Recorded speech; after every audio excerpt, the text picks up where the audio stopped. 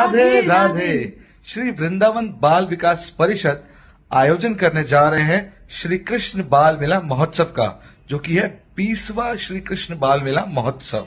जहाँ बहुत ही प्यारे प्यारे बच्चे आने वाले हैं बहुत सारे डिफरेंट डिफरेंट स्कूल से और वो पार्टिसिपेट करेंगे। जी हाँ मैं आपको बता दूँ लगभग 1500 बच्चे 1500 छात्र पूरे ब्रज क्षेत्र से आने वाले हैं इस तीन दिन के कार्यक्रम में हिस्सा लेने के लिए। जो कि शुरू हो रहा है कल से यानी 12, 13, 14 को जयपुर मंदिर में होने वाला है। और यहाँ पर बच्चों के लिए ढेर सारे झूले हैं बहुत सारी चीज़ें हैं और तरह तरह के टैलेंटेड बच्चे आपको परफॉर्मेंस अपना करके दिखाएँगे।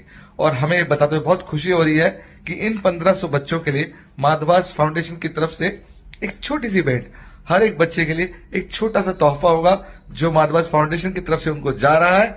आई होप कि बच्चों को ये तोहफा पसंद आए and all the best for your performances Hare Krishna Hari बोल